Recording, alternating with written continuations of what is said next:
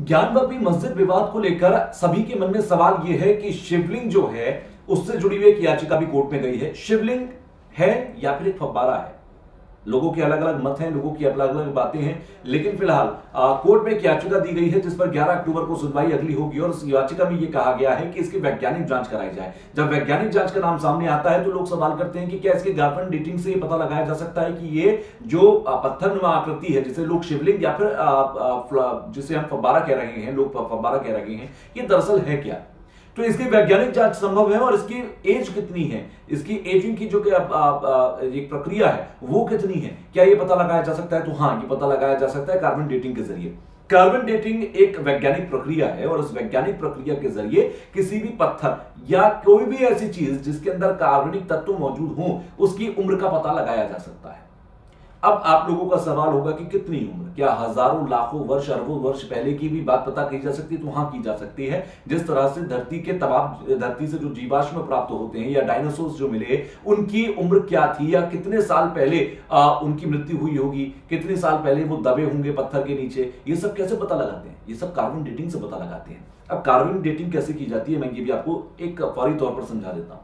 देखिए क्या होता है कि हर व्यक्ति हर पदार्थ के अंदर ज़्यादातर दुनिया के अंदर जो पदार्थ है, वो कार्बनिक पदार्थ हैं। इसमें टेरोकोटा छोड़ देते हैं और एक दो हम कोई धातुओं छोड़ देते हैं। इन धातुओं की और कुछ धातुओं की और टेरोकोटा की जो अभी तक कार्बन डेटिंग नहीं की जा सकती है, इन्हें छोड़कर बाकी ज़्यादातर चीज़ों की कार्बन डेटिंग हो सकती है। दूसरी बात, कोई भी कार्बनिक पदार्थ के अंदर तीन तरीके के कार्बन के आइसोटोप होते हैं carbon twelve carbon thirteen and carbon fourteen carbon twelve जो होता है, वो स्थिर होता है, वो कभी बदलता नहीं है।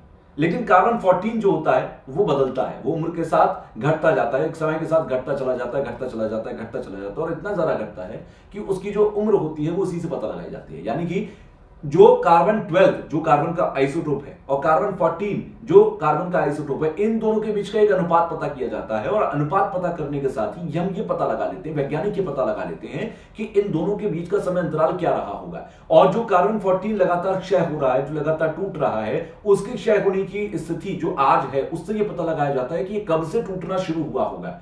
तो उससे अनुमान लगा लिया जाता है कि इतने सवाल पहले ये टूटना शुरू हुआ होगा और यही वजह है कि कार्बन 12 और 14 के बीच का जो समय होता है, जो एक डेटा रिसर्च है, उसके आधार पर ये पता लगता है कि इतने समय पहले ये टूटा होगा तो इतना समय इसको हुआ होगा। यही वजह है कि डायनासोर्स के जो जीवाश्म मिले या चंद्रमा की मिट्टी पर कि कितने साल पहले चंद्रमा धरती से अलग हुआ होगा। दुनिया भर के जितने भी रहस्य हैं, जो कार्बन डेटिंग या एजिंग से जुड़े हुए हैं, उम्र से जुड़े हुए हैं, वो इसी तरीके से पता लगाए जाते हैं। तो शिवलिंग के विवाद में भी, शिवलिंग के लेकर भी यही सवाल किया जा रहा है कि कितने साल पहले ये शिवलिंग यहाँ पर स्थापित हुई होगी। क्या ये कार्बन डेटिंग से पता लग सकता है? तो हाँ ये पता लग सकता है, क्योंकि जिस जगह पर किसी पत्थर को रखा जाएगा, उसके नीचे बहुत सारे बैक्टीरिया या बहुत सारे कार्बनिक सूक्ष्म जीव हो सकते हैं, जो कि उसके नीचे दबे होंगे। तो उसकी प्रक्रिया से भी ये पता लगा लिया जाता है कि ये पत्थर जो है, वो कितने समय पहले यहाँ पर रखा गया होगा, जिसे लोग शिवलिंग कह रखे हैं और जिसे कुछ लोग फब्बारा कह रहे हैं। फ़िलहाल ये तो जाँच का विषय होगा। कोर्ट 11 अक्टूबर को इस पर अगली सुनवाई करेगी और तब जाकर ये साबित हो पाए ये क्लियर हो पाएगा कि इस जगह की वैज्ञानिक जाँच कब, कैसे और किस तरह के परिणामों के साथ होगी।